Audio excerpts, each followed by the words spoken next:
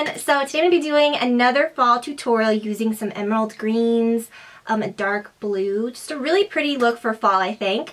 Um, and I'll also be sharing with you my outfit of the day since to me in my mind it's fall, like it should be fall and it's still hot so I'm going to show you kind of how I'm transitioning. I'm making a very slow transition because the weather is not cooperating with me and getting cool like it's supposed to.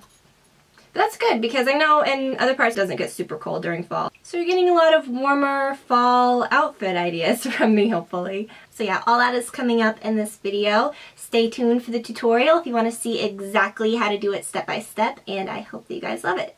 So first I'm using a little bit of my NARS Smudge Proof Primer just to prevent creasing.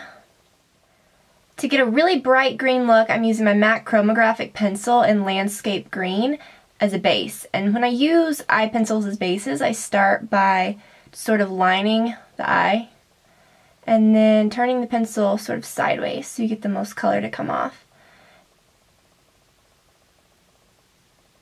Then I just blend with my finger until it gets smooth.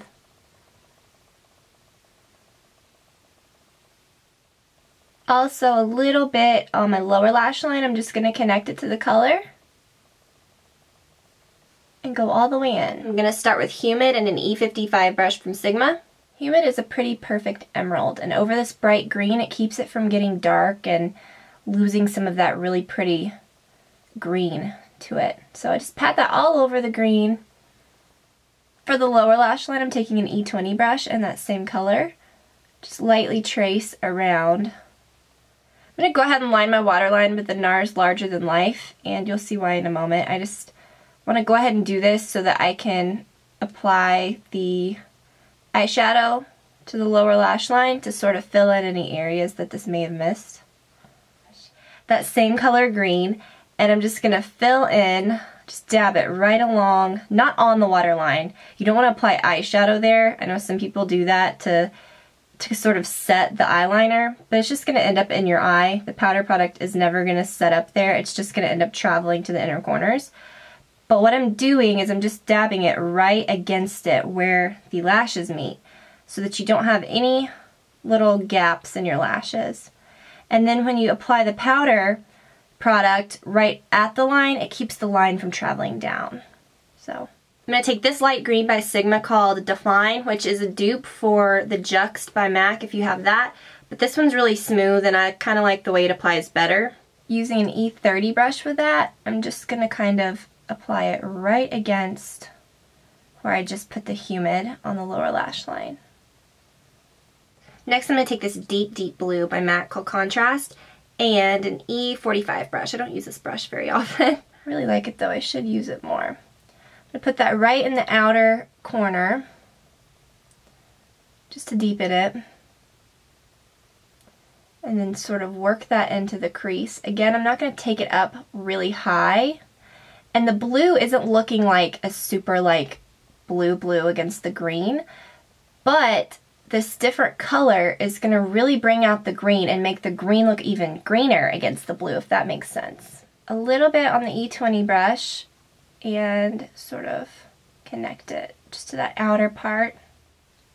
And we want to really soften it up. I'm using an E50 brush and I'm pointing it downward rather than upward so that it doesn't really travel too high.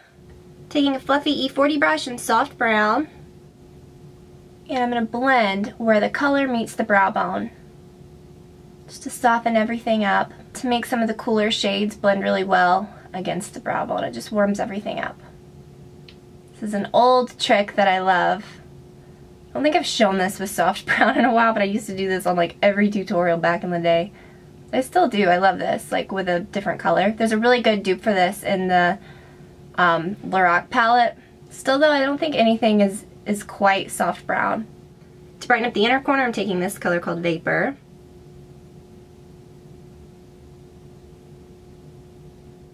And with a big brush right up underneath my brow for some highlight. Lining my upper lash line with my L'Oreal Carbon Black Liner Intense.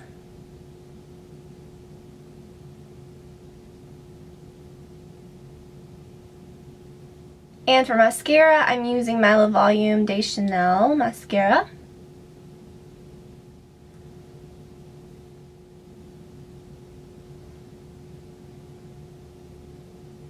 For my cheeks, I first, when I did my foundation, I used my Chanel Bronze Universal, which I really love. It's a great product. It looks like that. You apply it with a big kabuki brush. Um, I do have a video showing that. It's just really simple. I use an F45 like this by Sigma, and I just apply it like bronzer. The next tutorial where I use it, I'll demonstrate it, but you can always go to that video if you're curious.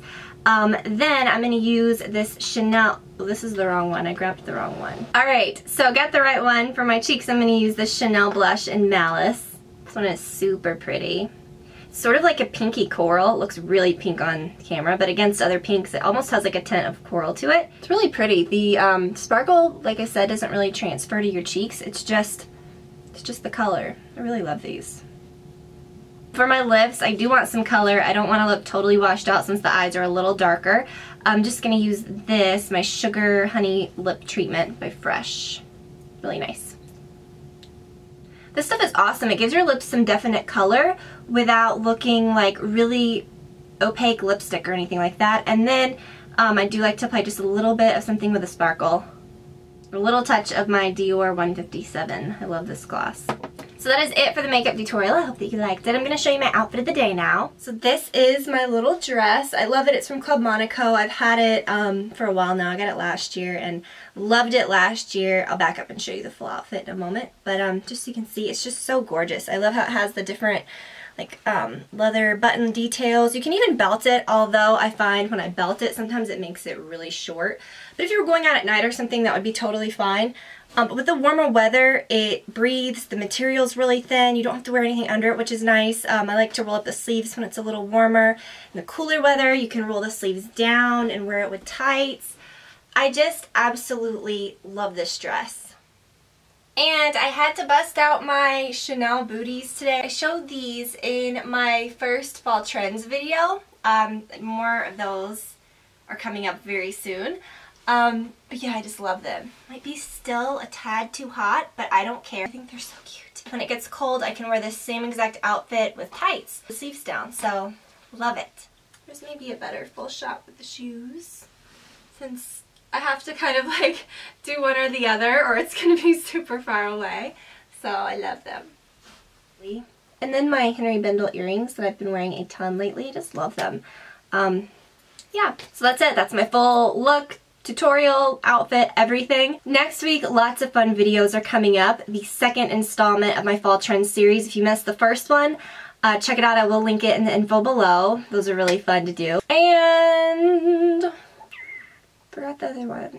Oh, I'm doing a beauty tag video. So, um, so yeah, fashion video next week, a beauty tag video. I love these fall fashion video. I'm not going to get into that because this video is going to be really long, but, um, but definitely check that out. Those are super fun. Check out the one below if you haven't. So guys, thank you so much for watching. I love doing these videos. I love that so many of you have been with me for so long over the five years that I've done this. It's just so fun and I just, I love it. I do these for you guys. I love interacting with you all and it's just super, super fun for me. So I hope that you all had a fabulous week and that you will have an even more fabulous weekend.